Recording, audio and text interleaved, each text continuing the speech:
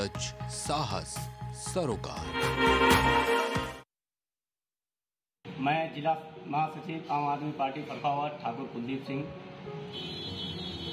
एक मैं अपनी जनता से आह्वान कर रहा हूँ कि एक तिरंगा संकल्प यात्रा जो हमारी आम आदमी पार्टी द्वारा प्रदेश कार्यालय लखनऊ में आयोजित की जा रही है 14 अगस्त। समय है 12 बजे।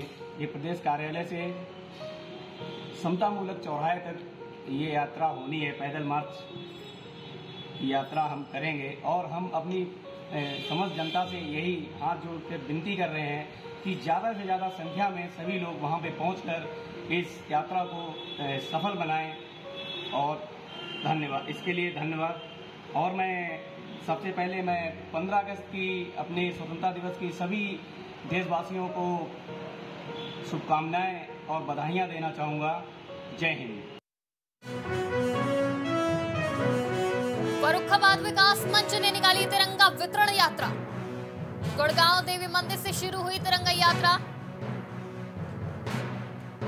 तिरंगा यात्रा में कई सामाजिक संगठनों ने लिया हिस्सा। तिरंगा वितरण यात्रा का कई जगह पर किया गया जोरदार स्वागत। सुरक्षा व्यवस्था की दृष्टि से भारी पुलिस फोर्स तैनात। फरुखाबाद विकास मंच ने निकाली तिरंगा वितरण यात्रा। गुड़गांव देवी मंदिर से शुरू हुई तिरंगा यात्रा। तिरंगा यात्रा में कई सामाजिक संगठनों ने लिया हिस्सा। तिरंगा वितरण यात्रा का कई जगह पर किया गया जोरदार स्वागत। लखनऊ से बड़ी खबर सामने आ रही है। सीएम योगी को बम से उड़ाने की मिली धमकी। अवैध बूचड़ खाने के खिलाफ पीआईएल से जुड़ा मामला, देवेंद्र तिवारी की तरफ़ से सीएम को मिली धमकी। पूरे मामले में आलमबाग थाने में मुकदमा दर्ज। इस खबर में हमारे साथ ज़्यादा बातचीत के लिए संवाददाता शादाब जुड़ चुके हैं। शादाब, पूरे मामले की जानकारी चाहेंगे?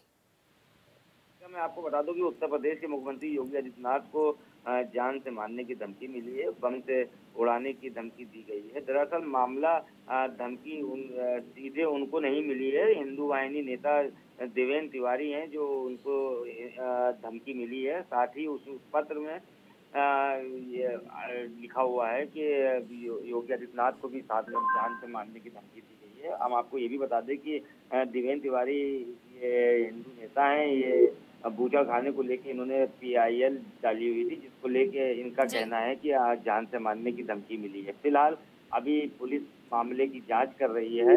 इससे पहले भी योगी आदित्यनाथ को लखनऊ के ही थाना सुशांत गोल सिटी से धमकी धमकी का मुकदमा लिखाया गया था। वहाँ पे भी अभी कोई ऐसा अरेस्टिंग नहीं हुई है। उसके बाद अभी ये आलमबाग थाना है जहाँ पर उनको जान से मारने की धमकी मिली है। यहाँ पे भी मुकदमा लिखाया गया है लेकिन कोई भी अभी इसमें गिरफ्तारी नहीं हुई है। जी बिल्कुल, बहुत बहुत बहुत शुक्रिया हमारे साथ जुड़ने के लिए तमाम जानकारी के लिए। इस खबर पे हमारे साथ लखनऊ से संवाददाता शादाब जुड़े थे। त्यागी मामले से जुड़ी बड़ी खबर। लखनऊ से खबर सामने आ रही है। एमएलसी स्वामी प्रसाद ने पुलिस कमिश्नर पर किया मानहानि का दावा। आलोक सिंह को त्यागी मामले में भेजा कानूनी नोटिस। त्यागी को विधायक स्टीकर देने की बात कही थी। नोएडा सीपी ने स्टीकर मुहैया कराने की बात कही थी। इस खबर पे हमारे साथ ज़्यादा बातचीत के लिए संवाददाता नितिन जुड़ चुके हैं। नितिन तो अब नया मामला सामने आ गया है। तो एमएलसी स्वामी प्रसाद ने पुलिस कमिश्नर पे अब जिस तरह से ये आरोप लगाए हैं तो क्या कहेंगे?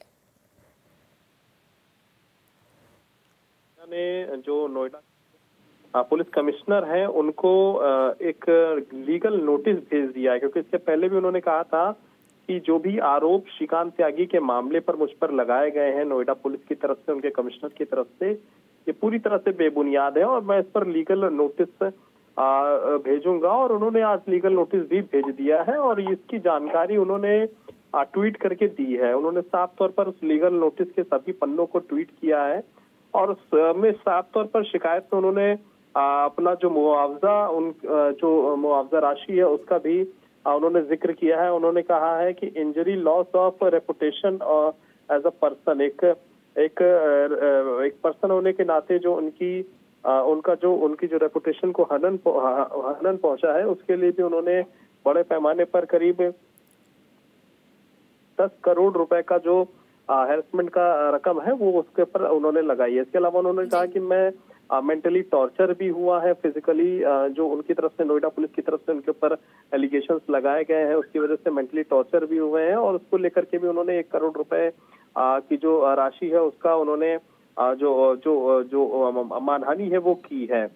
इसके अलावा फैमिली का भी जो कहीं ना कहीं नाम जो है वो खराब हुआ है इस पूरे मामले को लेकर के।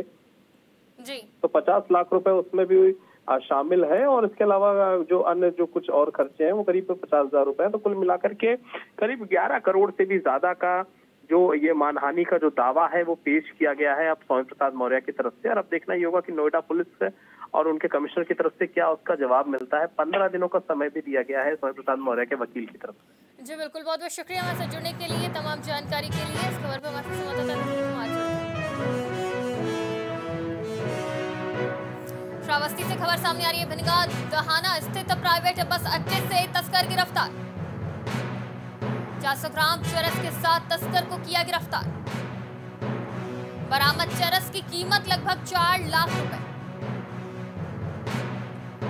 मुखबिर की सूचना पर पुलिस के हाथ लगी सफलता।